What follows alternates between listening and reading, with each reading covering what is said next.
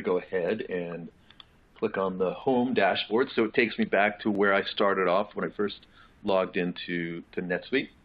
Um, and I want to talk about um, demand planning. So within NetSuite, um, on all of our items, we can say, hey, um, here's the order point or here's the min-max, and those are manual calculations. But within NetSuite, once you get enough activity in there, you can have it start to uh, recommend um, different methods or uh, you recommend quantities that you should maintain. Okay, so let's take a look at that.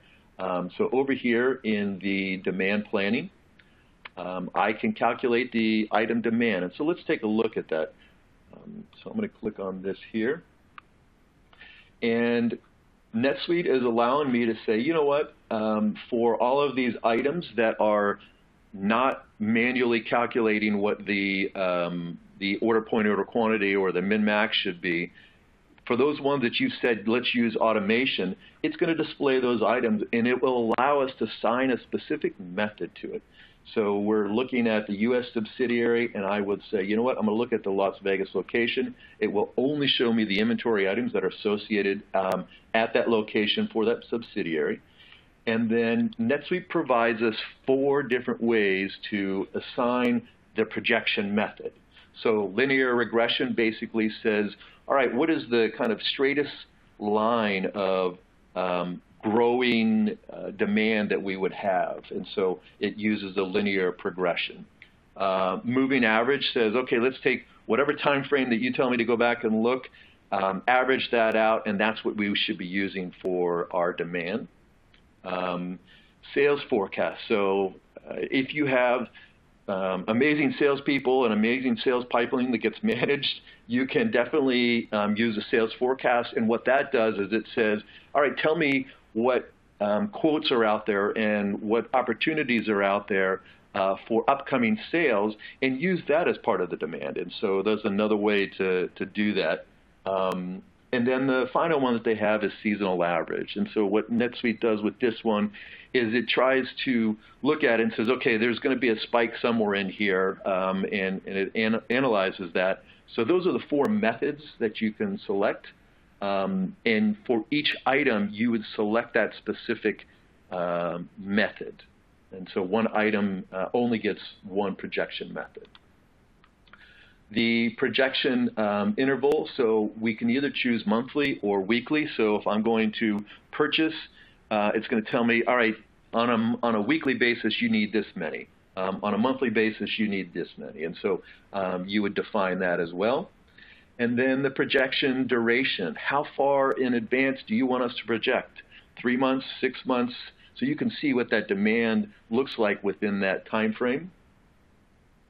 And then one of the final things that you have here is analysis. How far back do I want to go? So I would recommend if you guys started day one that you at least have um, three months of sales history to to have the analysis.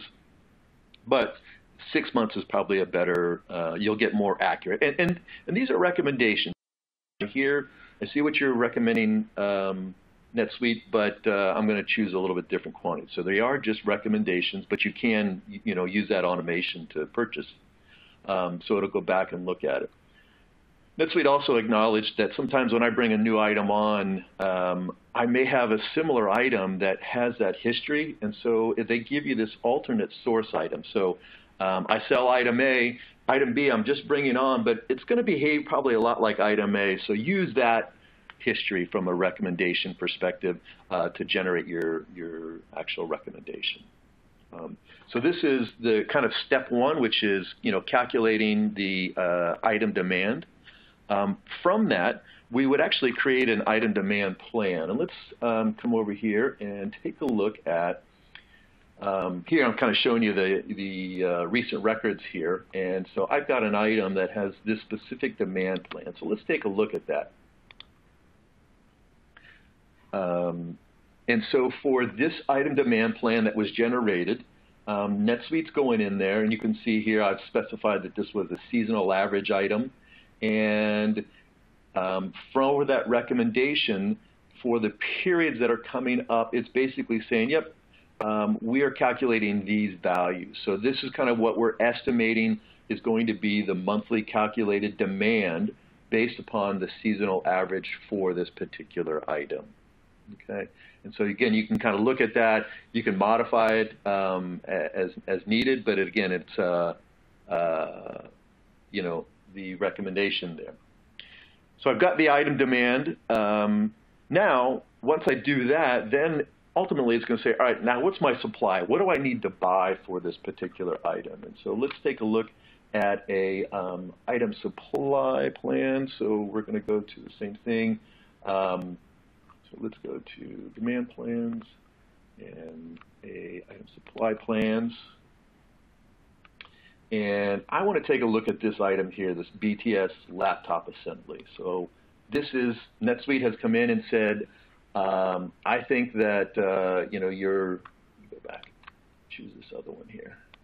Um, I think your, sorry, um, your demand or your, your supply should be these quantities. So on a, uh, on a regular basis, here are the quantities that we recommend that you purchase.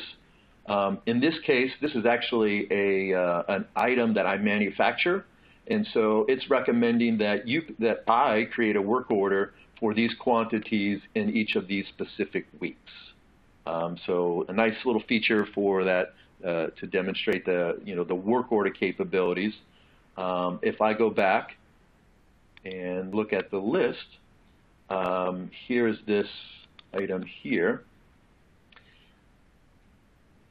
Sorry to kind of jump around on you. This, this is that item that we were looking at before. Um, so for this item, the supply plan for the specified periods, as we look at this, we've got a little bit, you know, little quantities, and there's that seasonal demand for us right at the end of the year through February and then it just drops off again, and then has a kind of a steady rate there. And so this is the the supply plan for that, and you look at that and you say, yep, I think that makes sense.